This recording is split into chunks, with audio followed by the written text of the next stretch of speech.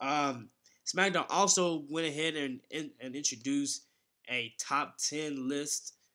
Um, that's something that have been talked about for a while. I talked about it last week and talked about how will WWE go ahead to do this top 10 list.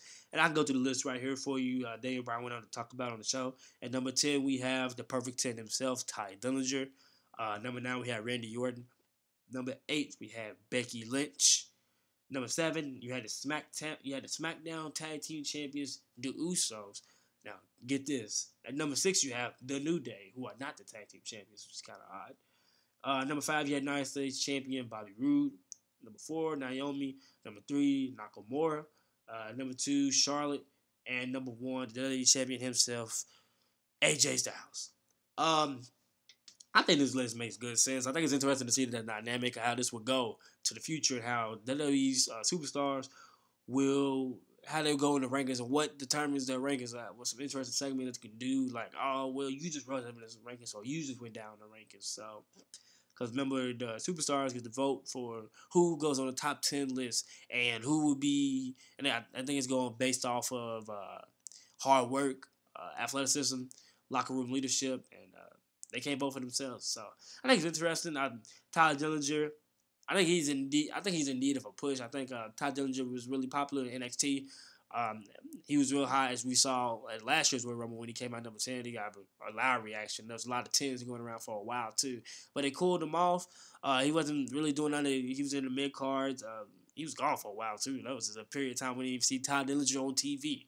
I forgot about the guy, but they brought him back and he started wrestling um, some good matches and he ended up in the few. He ended up in the triple threat match with uh, AJ Styles, uh, Baron Corbin, and Tye Dillinger. Well, himself, I mean, at the Hell in Cell Heavyweight United States title. Um, so I think Tye Dillinger will be on this list. I think it's uh, I think it's real good for him. Uh, hopefully, he can move up in the rankings and uh, he'll have some interesting matches.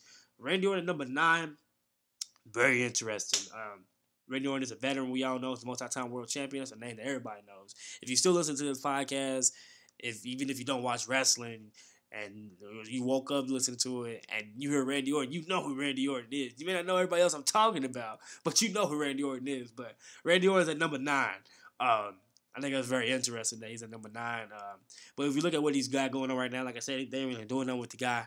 Uh, I think, like I said, Hill Randy Orton would do good. Uh, put him in some fuse. Uh, he'll have some interesting feuds going. If you do some uh, WrestleMania, possibly do a him versus Nakamura at a Fastlane. You possibly do that.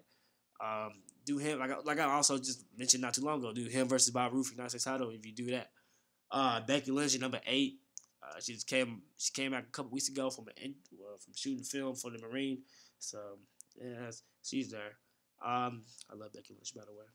Uh, number seven, yes, the, Usos, but number six you had the New Day. The New Day, who haven't, who who I feel they have nothing to do right now as well. Uh, what's their next move on SmackDown? We found this problem on Raw where they didn't have nothing to do, and I think with them going to SmackDown was a good move for them because they freshened up and they uh, went into that. Was it their first feud the Usos when they got to SmackDown? Uh, I don't think so. But they had that they had that few the great feud with the Usos uh, this past uh, uh, year. But what's the next for the New Day going forward? Do they start feuding with Chad Gable and Shelton Benjamin, who are now officially heels, who are going around legitimizing the title? I think that'd be a good feud right there, dude. Gable and Jordan. I mean Gable and uh, Gable and Benjamin versus the New Day.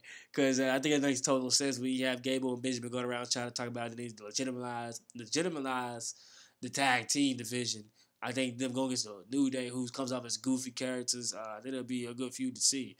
Um, but with the Usos, uh, this week again we had some uh, more attention and more um, back and forth with them and the the Bludgeon Brothers. Um, the Usos came out after the Bludgeon Brothers match and uh, Harper had to hold back Rowan, and the Usos walked past them as if they never noticed. So it's obvious that they're building towards a match between the two, whether it's at Fastlane or they're gonna carry it out to WrestleMania. But I think the two will have a match, and I think the Bludgeon Brothers will end up coming out on top, becoming your new tag team champions. Um, I apologize for that. That was very unprofessional of me. Kitty Passion, but apologize all as passionate as I I'm sorry. But anyways, back to more important topics to talk about. We had at number five, Bobby Roode. Uh, like I said, go to the feud with Randy Orton. I think something that we should go for. Uh, Naomi at number four. I think she was put there for lessons, but she's she's a good, talented wrestler. Um, I like Naomi.